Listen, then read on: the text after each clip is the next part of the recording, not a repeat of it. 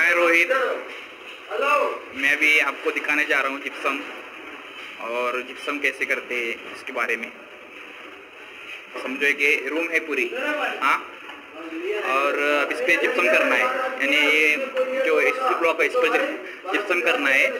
तो पहला तो क्या प्रोसेस होता है कि जो रूम है रूम का जो साइज़ है मतलब जो साइज़ है वो बरोबर क्या आना चाहिए? 90 डिग्री आना चाहिए। मतलब काटकून मिलना चाहिए। इसके लिए क्या करते हैं, पहले तो जो जिप्सम के लगाने वाले लेबर क्या करते हैं, इधर से ऐसे टिक्के बनाते हैं, ऐसे टिक्के बनाते हैं। मतलब थिकनेस स्पेसिफाई करते हैं जिप्सम की, कितना आ रहा है, क्या आ रहा है। फिर इसके बाद ये इतने धड़े लगा के लेते हैं। हाँ धड़े लगा लेने के बाद एक एक मीटर पर, या दो तीन तीन फुट पर ऐसे धड़े लगा लेते हैं।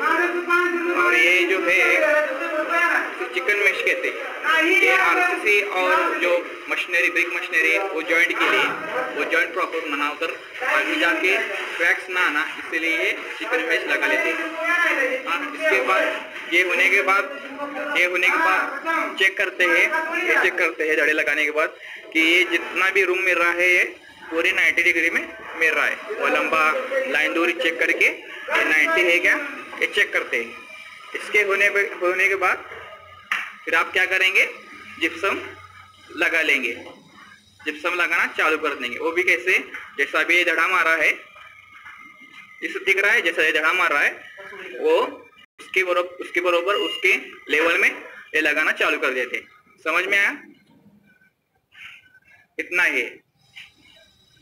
इन शॉर्ट क्या है कि जिप्सम ऐसा आना चाहिए कि जो रूम की साइज़ है वो बरोबर काटकोन में मिलना चाहिए नाइन्टी में मिलना चाहिए। ये जिप्सम बैग आहे हा प्रोडक्ट नेम आहे जिक्रॉक इलाइट नाईन्टी हा प्लास्टर हा जिप्सम प्लास्टरचा बॅगचा नेम आहे और याचं प्रपोशन जे आहे ते one is to one point five म्हणजे वन वॉटर आहे और जिप्सम पाउडर होगा 1.5 और इसके ऊपर हाईएस्ट मार्क भी दिया है। और इसका जो सेफ्टी है, यानी उसके यूज़ करके, यूज़ करते वक्त कैसे सेफ्टी लेना चाहिए भी दिखा है और इसके बाद इसके एडवांटेज जो है जिप्सम के, जो मोटर के ऊपर, वो भी दिया है। पहला एडवांटेज क्या है? डायरेक्ट एप्लीकेशन जो जिप्सम जो होता है, वो सीधा हम क्या कर सकते हैं, उसका पेस्ट हाथ से लगा सकते हैं। समझ आया? और नो श्रिंकेज क्रैक जो जनरली मोटर में क्या होता है? क्रैक आते हैं। यानी फिट ऑफ़ हाइड्रेशन क्या होता है? क्रैक आते हैं श्रिंकेज क्रैक आते हैं। वो अपने जिप्सम में नहीं आता। और नो वाटर क्यूरिंग ये जो जिप्सम प्लास्टर होता है, उसमें क्यूरिंग की ज़रूरत नहीं होती। और जो जनरली अपन मोटर में करते हैं, उससे क्या क्यूरिंग लगता है? सात दिन के लिए क्यूरिंग लगता है। तो इससे क्या होता है? अपनी पानी की बचत होती है। और और ये लाइट वेट प्लास्टर ये क्या होता है? इसका जो वज़न है वो कम होता है। ज़ीरो मेंटेनेंस इसका मेंटेनेंस नहीं होता। नो वेस्टेज और इसका सबसे वेस्टेज कमी होता है। स्मूथ फिनिश फिनिश एकदम स्मूथ होता है। इसके ऊपर आप direct wall putty wall putty का एक कोट लगा के सीधा पेंट कर सकते हैं। और ये सेव सेव टाइम और ये जल्दी जल्दी होता है।